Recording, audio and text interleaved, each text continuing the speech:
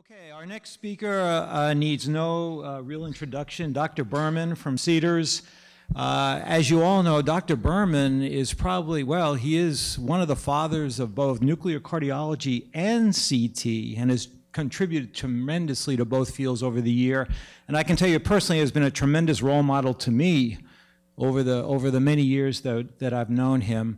And so it's a great pleasure to have him here today. And um, he will be talking about functional versus anatomic assessment of coronary disease, comparative value, when should we use CT angiography as first line from a nuclear cardiologist? Here we go.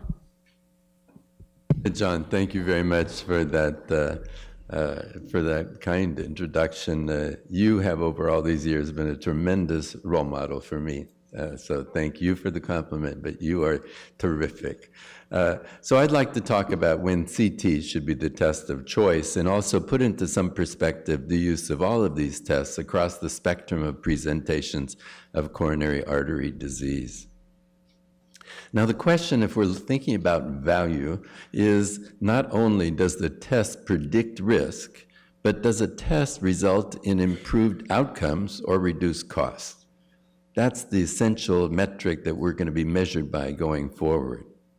So the concept is that value is quality over costs, and quality in our cardiac terms is improvement in cardiac outcomes, and costs are all the costs related to an episode of care.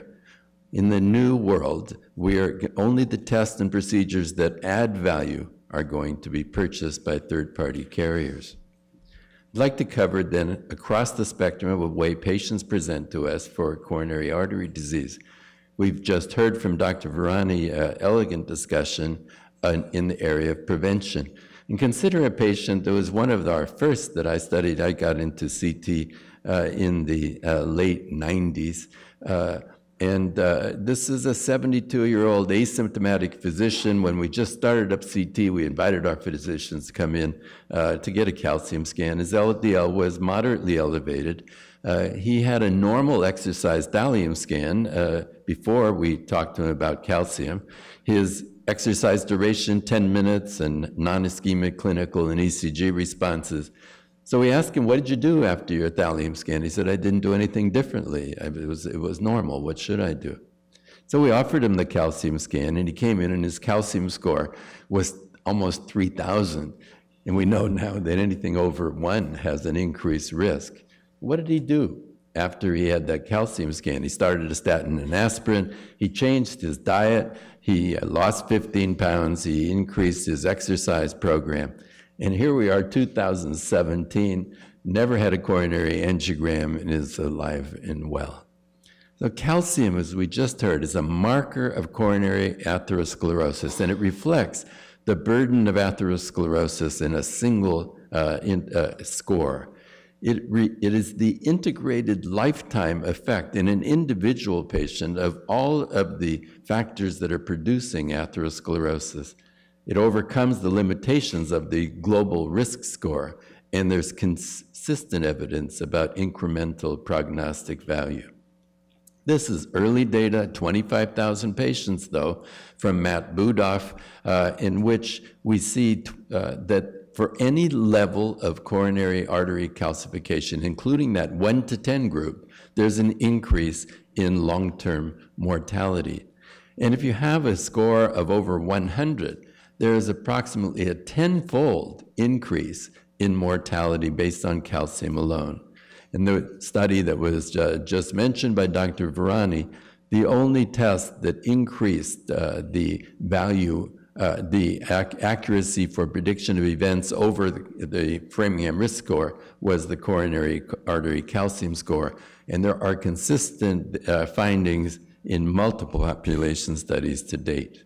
And it, importantly, as just mentioned, it reclassifies about half of candidates who would be eligible for statins into not needing statins with a calcium score of zero. Calcium leads to changes in treatment and in lifestyle more targeted prevention of pre preventive treatment, upscaling or downscaling, improvement in risk factors has been shown uh, in risk factor uh, in a scanned group versus non-scanned group, uh, intensification of therapy, when there's a, increased score, better adherence to therapy, a big problem in statin therapy, dietary modifications, and increased exercise. So, summarizing, in the prevention arena, coronary uh, artery calcium is effective. Stress imaging uh, or coronary CTA play no primary role, but a secondary role uh, in patients with higher risk, with either uh, um, de uh, depending on their calcium score of CT or stress imaging becomes relevant. So I think looking at value, we will see an improvement in outcomes with no change in costs. There's an increased cost of the test, but a decreased cost of, of downscaling uh, uh, therapy in patients with zero uh, calcium scores. And I think it's going to prove valuable. It's true that carotid intimal medial thickness with plaque imaging could also uh, have uh, has a potential to do the same thing. In the area of acute coronary syndromes, this is where CT shines. It's got the highest sensitivity and specificity of any non-invasive technique, uh, over 90% on a per patient, per vessel, and per segment basis. And when we consider uh, what its predictive value is, uh, it has a very high negative predictive value for events.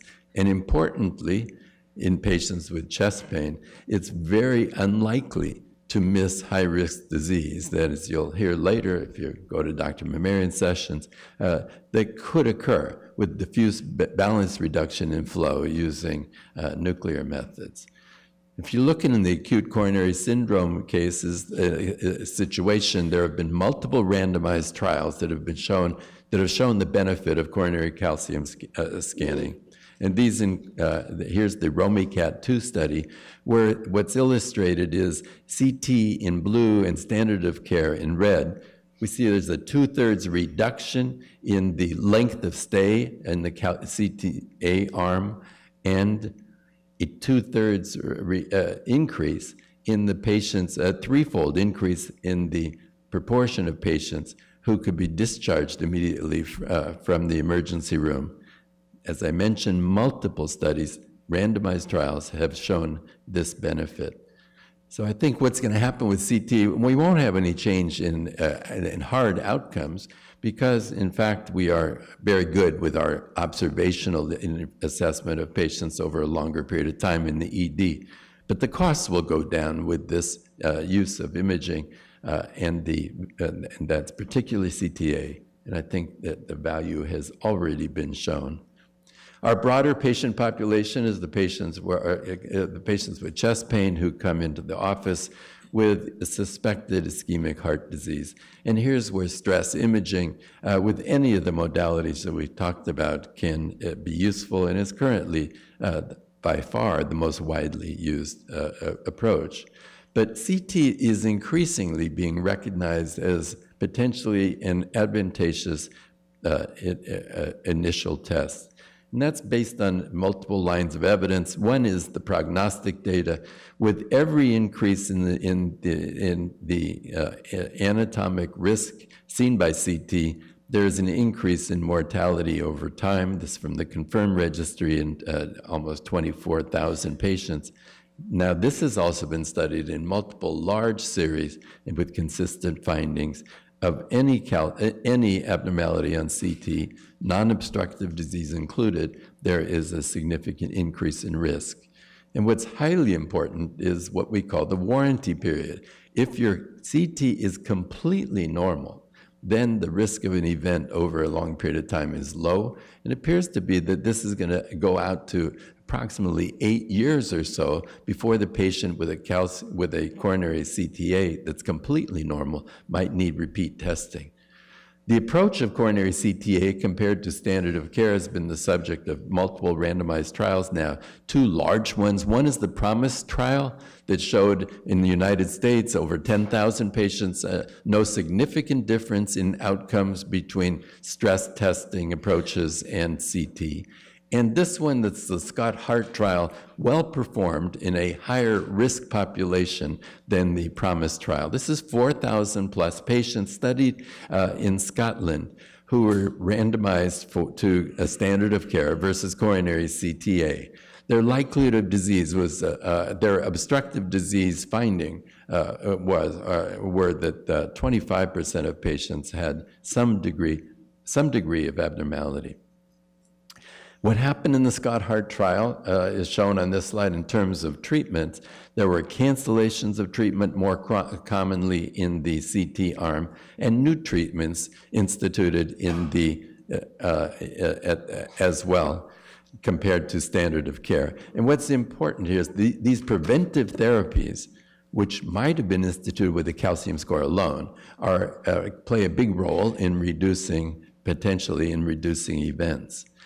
The fabulous data of this trial came from what's called a landmark analysis. It took about 60 days in Scotland for the treatments to actually be different between the coronary CTA and the uh, standard of care arm. There was a delay in getting a CT scan, a delay in potentially interpretation, getting that information back to the clinician, and then seeing the patient in the office. But after that treatment delay, if we compared the standard of care to the coronary CTA arm, there was a 50% reduction in cardiac, uh, in cardiac death and myocardial infarction. 50%. Dramatic finding. And this finding has led to a change in the uh, recommended guidelines, and the, the NICE guidelines uh, in the National Health Service in Great Britain, where performing CT angiography as the initial test has become the preferred recommended approach. We need far more centers being able to do CT well. We need more experts analyzing these studies in order to implement this. Uh, but in fact, uh, it is likely to be something that's going to occur over time. Finally, in California, uh, we've had approval after many years by the major insurers of coronary CTA assessments. But what's surprising is that these approvals have come only in, in centers where the FFRCT is available. There's a concern that CT alone might need to increase coronary angiography and unnecessary revascularizations that could be modulated by the use of uh, fractional flow reserve measurements, the functional measurements. So what about CT in terms of value? If used in the right patients with an intermediate likelihood of disease, I think there is going to be potentially uh, no change or even a decrease in cost, but value is likely to be shown. If we use it in patients who are too high risk, then we're going to see that costs will be uh, increased and value won't be there. Yeah, the, the, problem, what do you do after you see a CT scan? It's easy at the extremes, uh, where we just, uh, uh in the normal study, assure the patient no need to come back for when you have uh, normal scans for a long time. Uh, at high risk, very high risk patient, we know to go to the cath lab. The problem is that in between there's a problem. On the left, we see it could be an excellent gatekeeper to the cath lab, but in the patients where it's too much calcium, a borderline stenosis, or even a moderate stenosis, uh, uh, the, the, CT could be a gateway to the cath lab. So the functional assessments of the FFRCT or coronary uh, CT perfusion may reduce unnecessary catheterization. Now, where does ischemia testing fit in? It's in a higher likelihood of disease population. And what's imp uh, important to note is that this approach could be combined with the calcium scanning uh, to add strength. And actually, the potential of having uh, a, a, stress test approach plus calcium versus CT, uh, coronary angiography, has not been tested in a randomized trial. The problem with the stress testing alone is it only detects ischemia. Subclinical atherosclerosis isn't detected, and we could detect that by adding the calcium scan with hybrid imaging. There are many circumstances where CT is just not useful high calcium scores, uh, renal failure, arrhythmia, morbidly obese. These patients can be well stratified using nuclear methods, and particularly all those patients that can't be evaluated by CT are evaluated nicely by uh, nuclear methods. Years ago, we demonstrated in our registry that there is a, a crossover based on uh, the amount of ischemia uh, between uh, uh with revascularization shown in yellow and medical therapies shown in red. The more ischemia you have, if it's over about 12% ischemia, this is a log hazard ratio for cardiac, cardiac death. The more ischemia you have, it appears that there's an improvement in outcome using uh, a revascularization. If you don't have ischemia, uh, there is uh, no such improvement. But we don't know that for sure. So a randomized clinical trial based on the 10% ischemia has just been uh, had final enrollment completed. The patients uh, using the threshold of 10% ischemia are enrolled into a trial. There's a blinded uh, coronary CTA to rule out left main disease. And then they're randomized to go to the cath lab or not go to the cath lab. Uh, 5,000 patients in this study have been finished. And in many of these patients, as we've seen in our nuclear core lab, uh, there can be severe ischemia present, uh, even though the patients were randomized what I think is likely now with this approach? That in the right patients with intermediate to high likelihood of disease, uh, there will be an improvement in outcomes and value will be shown. But we have to study the right patients. Over time, we've demonstrated that the frequency of ischemia has gone way down, so that we're now down to less than 10% of our patients having ischemia, and that leads to our studying the wrong patients increased costs. In heart failure and cardiomyopathy, this is not the realm not area of CT. This is for echo, CMR, and PET. CMR, as we've heard, is an excellent method for looking at all kinds of cardiomyopathies and myocardial viability. And in many patients, the nuclear methods with PET for looking at, uh, at viability or at sarcoidosis, uh, and with uh, uh, SPECT imaging with pyrophosphate, looking at amyloidosis being areas that are uh, well assessed by these other techniques and not well assessed by CT. The challenges that remained is that we have to uh, improve outcomes or reduce costs, and that requires selecting the right patients for testing. Diamond Forrester classifications don't estimate risk well enough anymore. If you look at the PROMISE trial, where the Diamond Forrester risk was 53%, the actual prevalence of obstructive disease, even using a 50% cutoff, was only 11%. So we are too much studying the wrong patients. Finally, imaging tests alone can't improve outcomes unless they result in improved therapy. So we have to include in our reports something that tells people what to do with the test result.